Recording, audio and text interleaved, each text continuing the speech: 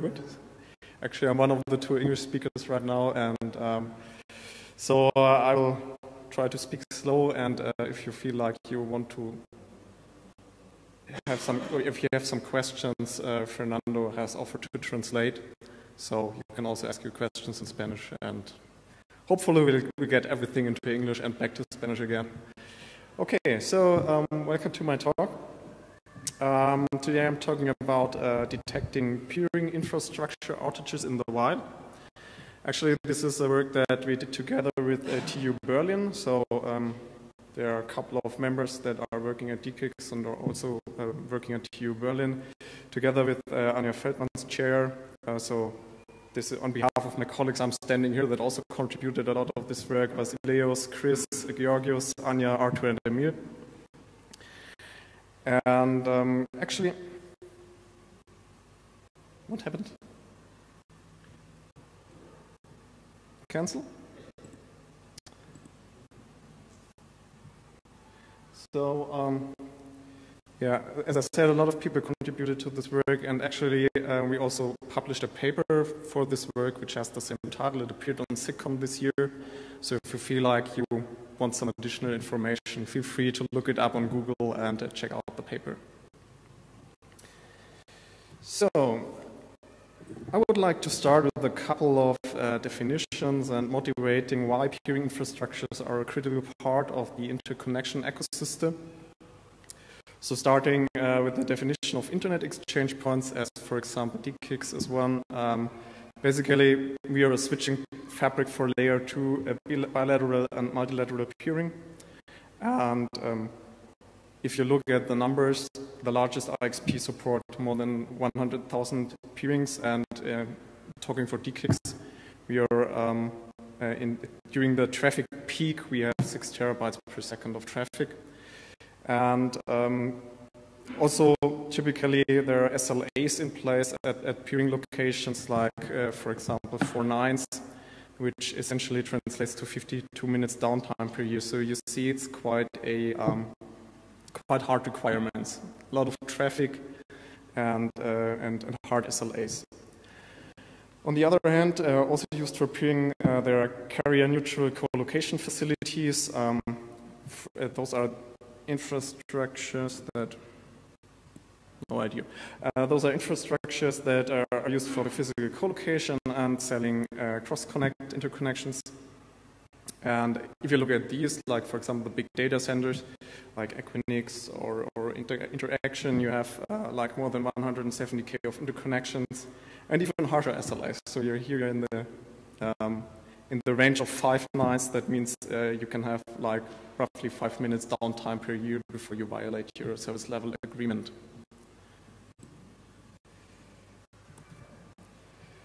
So coming from this motivation of uh, the big amount of traffic and uh, the hard uh, service level agreements, um, outages in peering infrastructures can really severely dis disrupt critical services and applications.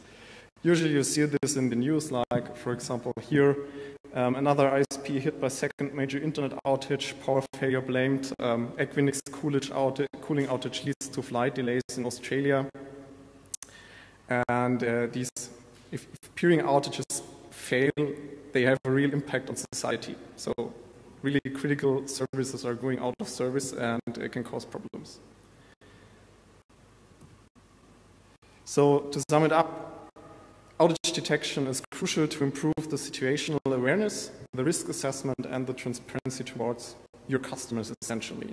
Because somehow you need to also um, validate that you keep your SLAs.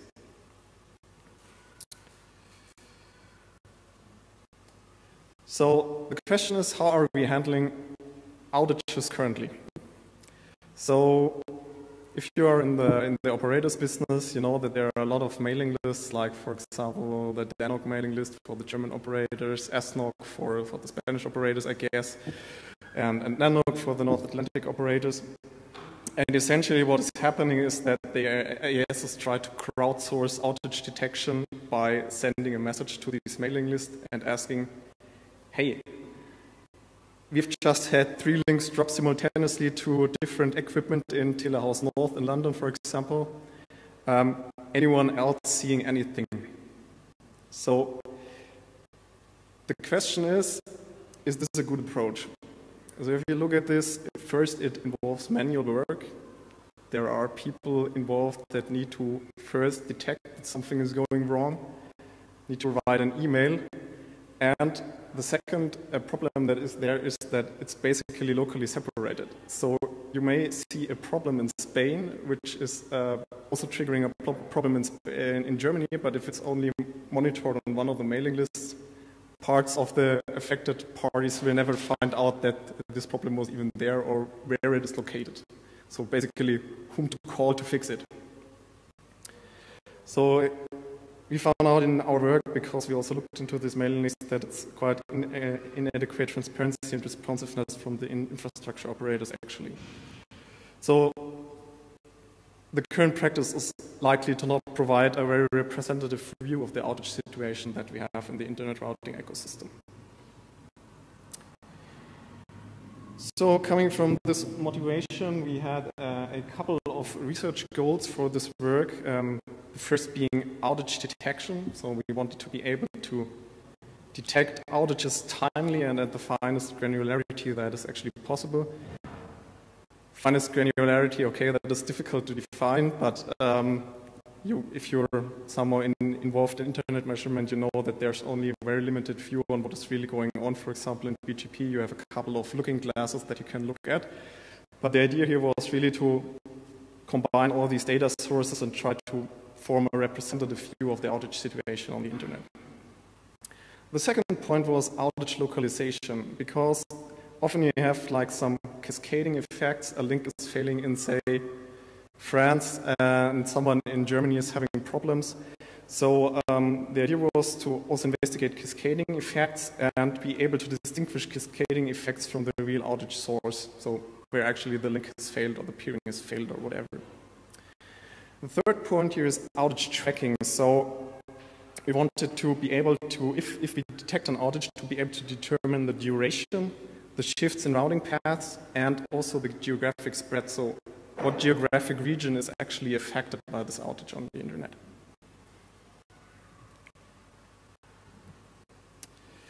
So um, the main challenge uh, that we face, uh, face in this project is that essentially if you look at um, protocols like BGP, which are your main data sources, facilities are invisible in these protocols. So if you look at this example topology over there, we have uh, like two facilities, facility one and facility two, which is also hosting an IXP. And we have a switch of the past, so AS1 and AS2 are, are appearing in both facilities. And um, essentially both are only layer 2 fabrics. So if you look at BGP, um, before the change and after the change, you basically have the same AS path and you're not able to distinguish that something has happened in the underlay. So um, the question is actually, okay, you first have to find out that there was a change, which you don't see at the AS path, and if you are able to detect the change, you need to still have to find out which facility has actually failed here in this, in this example.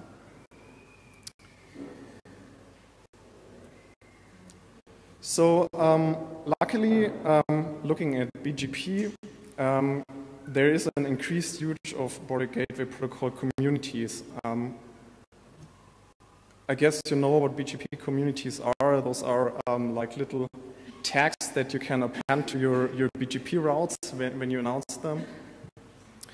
And uh, basically, these uh, tags um, have a certain meaning for the facility. Often these BGP communities are, for example, used to tag the incoming port of the traffic. Yeah? So, a, node of the traffic of the announcement.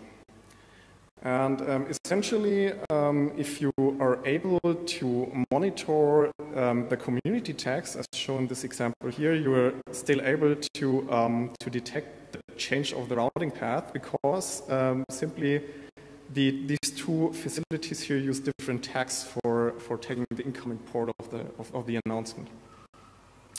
So if you look at the overall BGP traffic that you can pull out of looking glasses all around the world, um, you see here that the um, usage of community tags has increased by roughly 500% since, since 2010.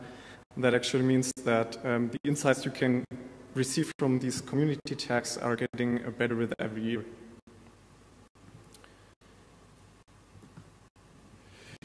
So what we did is essentially um, we um, utilized these BGP communities so um, to detect or to map BGP AS paths to certain uh, peering facilities.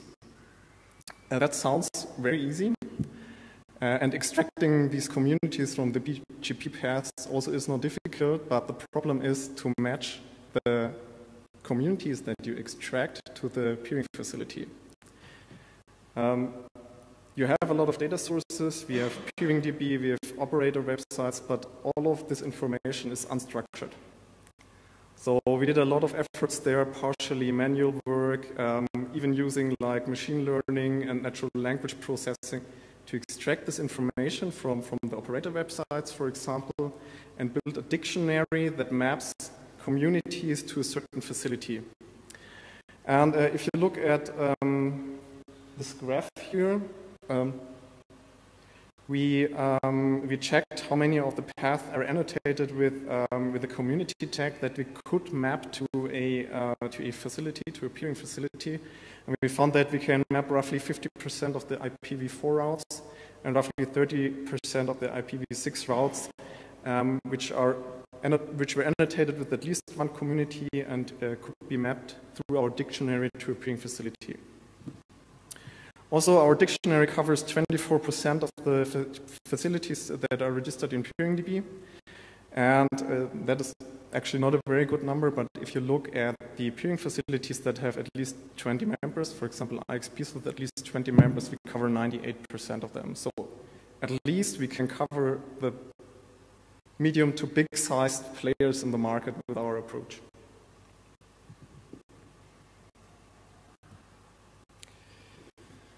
So in the following, I'd like to introduce our um, outage detection mechanism. So basically, it consists of um, two phases. So the first one is a passive phase, and the second one is an active phase. In the passive phase, we monitor BGP data, and if we detect an outage um, or an outage signal, we start investigating the outage with active uh, measurements. So starting here, for example, we have like three vantage points in this, um, in this um, simple setup here. And um,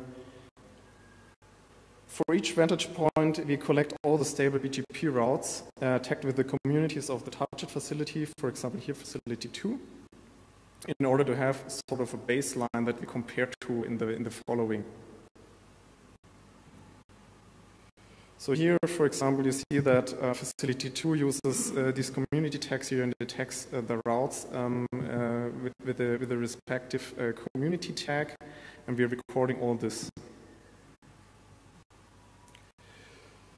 So from, from this baseline, we track the BGP updates of the stable path for changes in the community values that indicate that the ingress point was changed. So as I said beforehand, the facilities usually use these tags to to um, uh, to uh, mark the ingress point. And um, the, the idea now is that if you see a change in this ingress tag, you assume that the route has changed uh, and is now uh, routed over a different peering facility.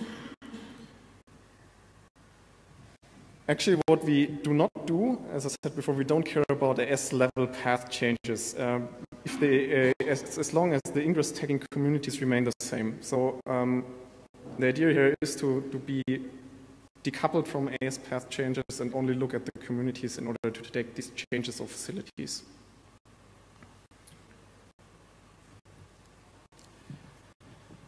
So in this example here, uh, you see that um, uh, facility 2 has failed, essentially, and um, we, we detect that not because the AS path changes, they don't actually, but we see that a lot of communities fail at the same time or, or change at the same time. And uh, at this point, this is a first indication for an outage of, of uh, the, the, the peering infrastructure. So it's not yet the final inference of what has really happened. So um, we define this, uh, this could be a, like something like a partial outage, like some lag is going down, you only have half the traffic that can be transmitted. It could be, for example, a depeering of large ASs.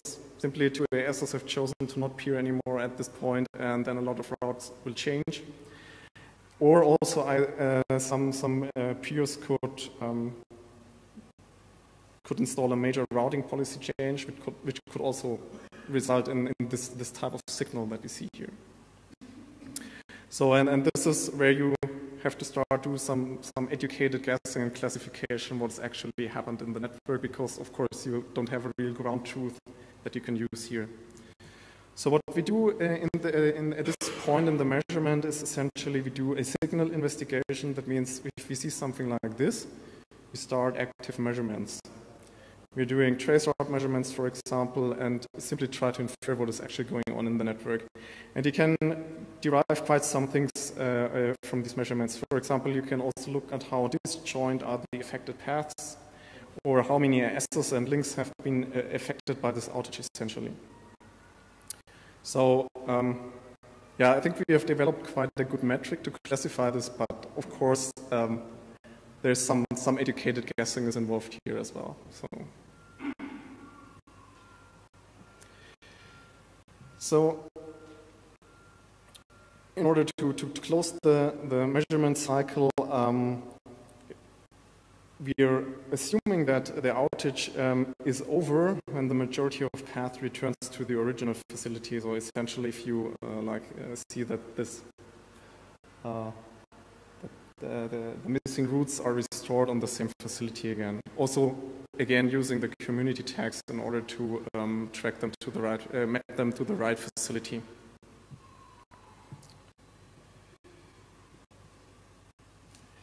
So that was outage detection, detecting that a problem is there and how to track it. But um, outage localization is something that is much more hard to do. So um, the location of the community values that trigger outage signals may not be the outage source. Simply because we only have limited insights into the network, we only see certain vantage points and you still don't know what is happening in between these vantage points. So it could be basically everywhere in between.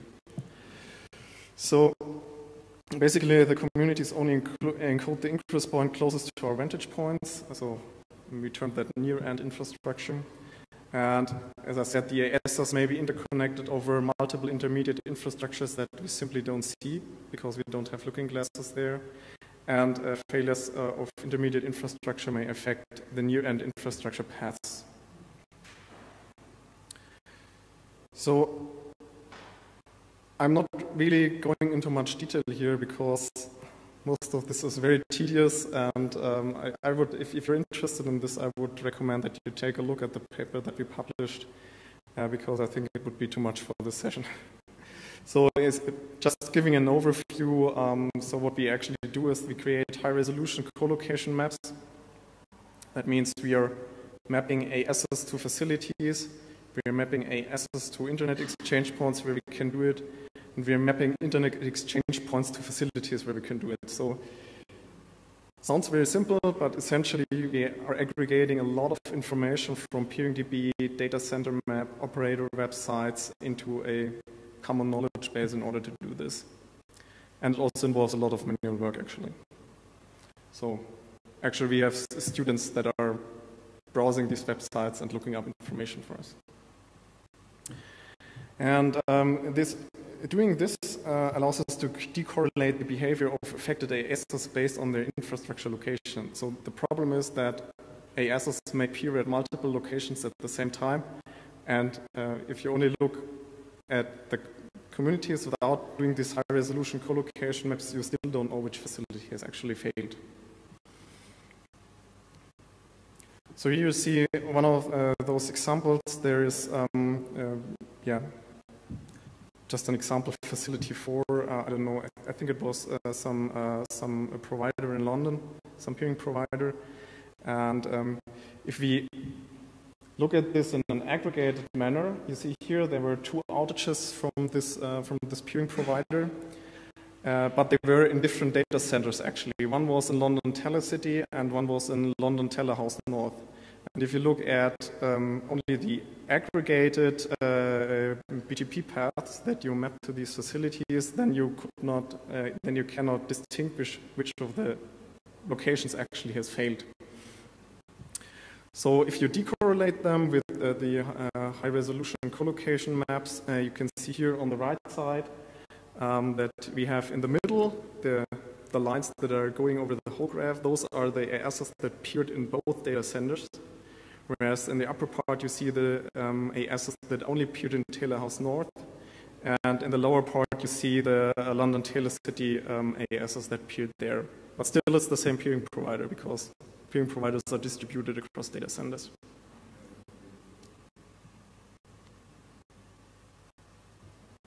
Yeah, actually, this is how we do the decorrelation. And always considering the baseline and the change from that baseline. So um, I talked about the approach, and uh, I would like to um, show you some of the results that we have actually measured. So um, one of the main results here is uh, that we found 159 outages of peering facilities in five years of BGP data. And uh, we found that 76% of the outages are not reported in popular mailing lists and websites. So what you see here is uh, the red line is, uh, are the reported incidents. Actually, the, uh, the peak in 2012, that was Katrina in, in the US, where a lot of infrastructure failed. And uh, in the background, uh, you see um, uh, you see our measurements, and um, yeah, you see that um, what we measure and what we see on mailing lists and websites differs quite a bit. So essentially, getting the baseline for these measurements was manual work, like looking up incidents that we found in the data and trying to find them on some mailing list. So that was really done by students that cross-validated the data.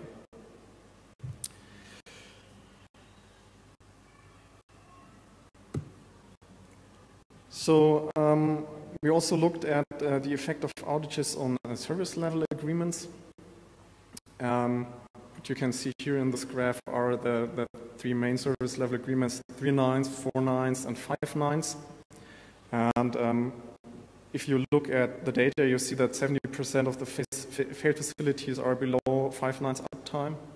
50% of the failed ISPs are below four nines uptime, and 5% of the failed infrastructure are below three nines uptime. Of course, this is not looking into the respective SLA that was exactly in place. It's just to give you a gut feeling how well peering points are actually performing with respect to these benchmarks. Yeah?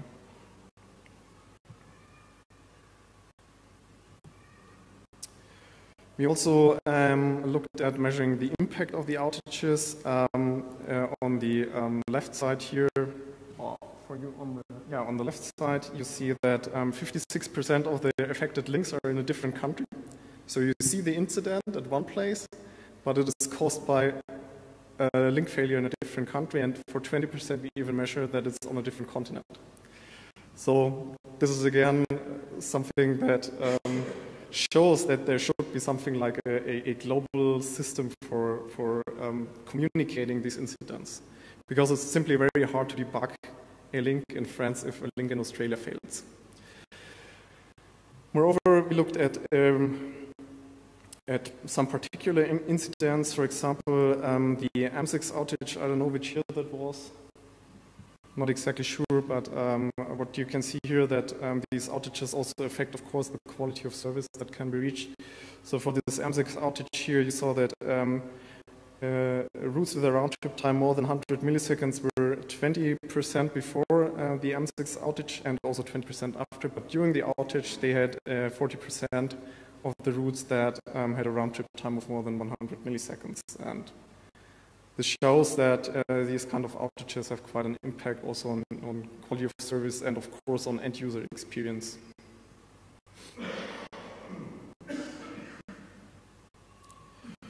So to conclude my talk, um, I would like to, to stress that we provided a system that uh, can do a timely and accurate detection of infrastructure level outages through passive BGP monitoring and through active measurements um, if we detect a, a, a peering infrastructure failure on BGP. We found that uh, the majority of outages is not widely reported, and um, yeah, essentially that doing this type of communication via mailing lists and social media is not really a good approach. Um, we saw, saw, also that remote peering and infrastructure interdependencies may cause problems in remote locations that are really hard to track. Um, what I didn't show here, but what is also in the paper, is that there are also cascading effects. So sometimes you see links that are failing at some point, and they are triggering cascades of route flaps that uh, you see very far away and even amplifies the problem. And uh, we could also show that there's hard evidence um, uh, that uh, what, what, I wanted to, to, stress here is that hard evidence on outages can improve accountability, transparency, and resilience strategy. So um, it's, I think these type of measurements are very valuable for, for daily operations to debug problems, to be accountable towards your customers, and to provide for the resilient network operations. So that is all from my side. Um, thank you for your attention. And um, please ask questions if you feel like you have some.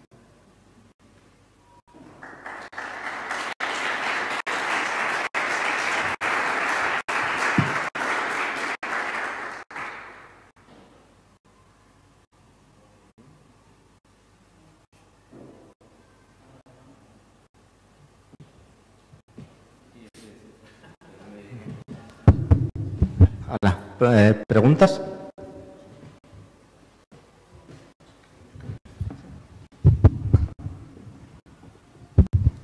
Hi, I have a question because you, you commented that you have like uh, very high resolution maps of the, that you are developing. I would like to, to see them. Uh, and uh, I would, uh, I don't know if you are working in the visualization of data part, but I, I would uh, find out quite interesting because uh, there's a lot of uh, a lot of work and research that you could be doing in that. Yeah. So actually, this was a part of a system that is called Kepler. We call it Kepler after the scientist. And uh, it's uh, responsible for aggregating all these data sources. Um, it's currently running at TU Berlin. I have no insights whether they are planning to open source that somehow. Probably yes, when they're done with all the publications. Um, but um, Anja Feldmann, which is uh, doing, uh, which is uh, responsible for much of the work, she, uh, I think she's very open to these ideas, and I guess there will be some open source publication for that. But I don't think yet. So maybe it might last another half year or something like that.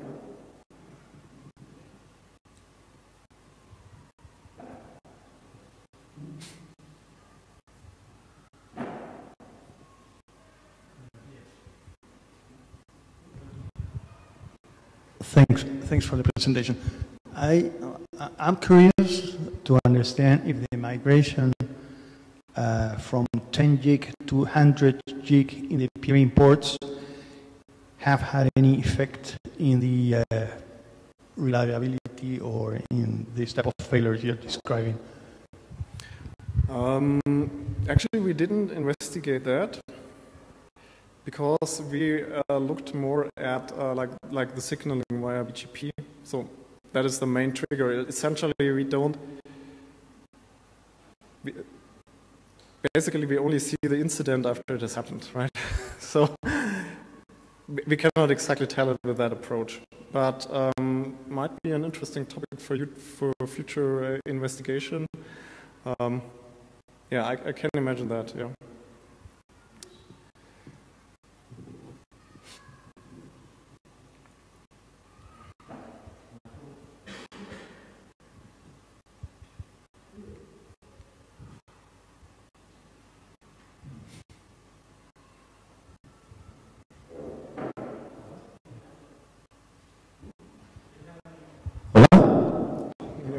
Sorry. eh, ¿Más preguntas? One, two. Thank you. Thank you very much.